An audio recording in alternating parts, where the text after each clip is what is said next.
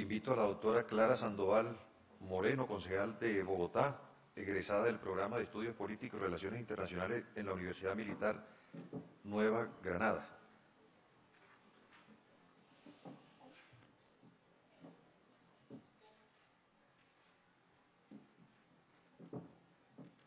Bueno, muy buenas tardes, honorables magistrados, señoras y señores. Yo agradezco la oportunidad de participar el día de hoy en esta audiencia, representando, estoy segura, a millones de colombianos y de ciudadanos en este país.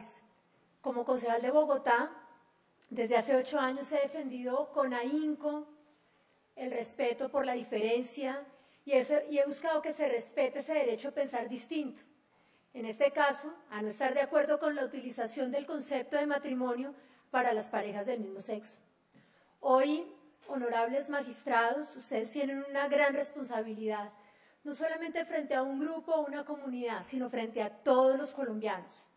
En primer lugar, la responsabilidad de proteger un déficit de derechos. Ya se ha planteado aquí durante toda la audiencia, la Corte fue clara al referirse que las uniones conformadas por parejas del mismo sexo tenían un déficit de protección que debía ser subsanado. De ahí que la sentencia C 577 del 2011 exhortó al Congreso a remediar ese déficit de protección de las parejas homosexuales a través de esa creación de la institución contractual. Aclaró en esa misma sentencia la Corte que no le correspondía entonces a la Corte la creación de dicha institución. Esto quiere decir que se debe responder a un déficit de derechos. Nosotros no estamos desconociendo unos derechos que, por supuesto, hoy han sido aquí muy bien defendidos. Lo que nosotros estamos defendiendo y que nosotros estamos hoy eh, aquí exponiendo ante la honorable Corte es que esa, esa protección de los derechos no puede pasar por encima del ordenamiento jurídico. Bien lo dijeron los honorables magistrados en la sentencia. Existen diferencias entre las parejas heterosexuales y las homosexuales. No hay imperativo constitucional de darles tratamiento igual ya que a causa de la no semejanza de los supuestos es improcedente la analogía total y, por consiguiente, el juez constitucional le corresponde actuar de manera singular, examinar los aspectos concretos, ya sean patrimoniales o personales, siempre que para cada presupuesto haya figuras afines en el ordenamiento. En segundo lugar, hay una gran responsabilidad por proteger ese ordenamiento. Esta Corte declaró exequible el artículo 113 del Código Civil y exhortó al Congreso a legislar sobre ese tema. Los notarios que se han, se han, negado a celebrar matrimonios de parejas del mismo sexo lo están haciendo con base en la Constitución, a la ley y a la sentencia de la Corte que declaró exequible el artículo 113 del Código Civil teniendo claro que no existe el imperativo constitucional de darles tratamiento igual, como bien lo dijo la Corte, es importante que este vínculo contractual que se establezca proteja el ordenamiento jurídico y respete la institución del matrimonio. Cualquier decisión que signifique un cambio en la institución del matrimonio, como lo consagró el constituyente primario de 1991, es responsabilidad del Congreso de la República. Por otra parte, la lucha por la institución matrimonial tiene una relevancia en toda la sociedad. Su configuración a través de la historia tiene un arraigo en el principio monógamo y heterosexual que busca fortalecer los lazos sociales y familiares. El considerar que esta institución sea un concepto amplio o que se vincule poliamor, como lo he escuchado también en este lugar, plantearía un cambio en el ordenamiento jurídico no solamente un cambio en el ordenamiento jurídico, sino que además estaría planteando una reestructuración social y cultural de la que todo el pueblo debería ser parte. ¿Por qué no preguntarle al pueblo? ¿Por qué no hacerlo parte de una reestructuración no solamente jurídica, sino social y cultural?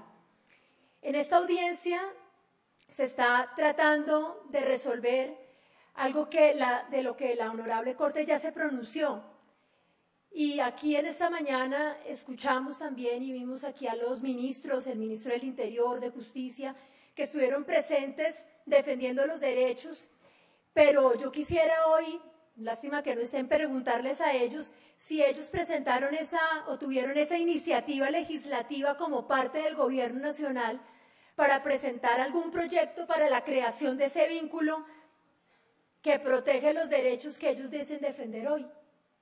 Eso es lo que le correspondería al gobierno nacional, no el día de hoy e, esta manifestación.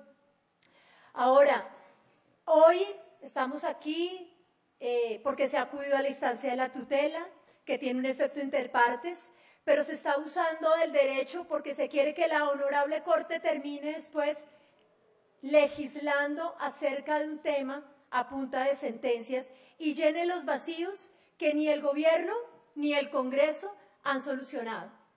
Ahora, lo decíamos, lo decía ahorita alguien que me antecedió en la palabra, el Congreso. Nosotros no podemos decir que el Congreso sencillamente, cada vez que el Congreso haga un debate y los argumentos o la posición mía sea derrotada en el debate, el Congreso no sirve. Y en ese momento inmediatamente haya que reemplazar las, las atribuciones y la responsabilidad del Congreso. Yo creo que en el Congreso es que se tiene que dar este debate y es allí donde se tiene que plantear eh, el vínculo jurídico que proteja derechos, pero que respete también la institución eh, matrimonial. La Corte no puede sencillamente vaciar la competencia que es exclusiva del legislativo y el Congreso está llamado a legislar sobre el tema.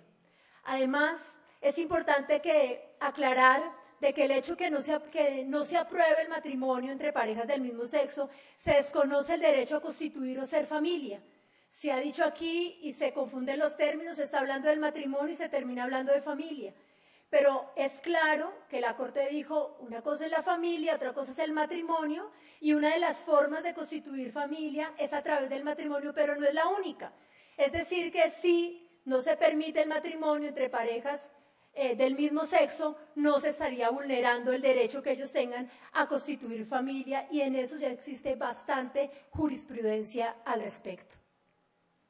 Por último, considero que el matrimonio, y se ha considerado ya, entre un hombre y una mujer, como lo establece el Código Civil, no es discriminatorio y pensarlo así, como lo dijo la Corte, carece de fundamento, ya que el artículo 113 del Código Civil no obliga a ninguna persona a renunciar ni a su orientación sexual o a contraer matrimonio, lo que no impide que se cree ese vínculo contractual con igualdad de derechos y obligaciones a los establecidos en el matrimonio.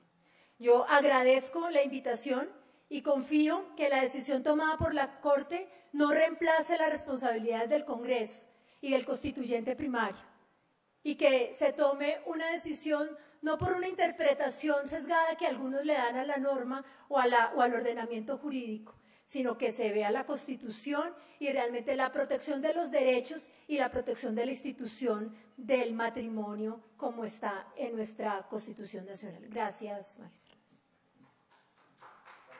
Puede aplaudir, por favor.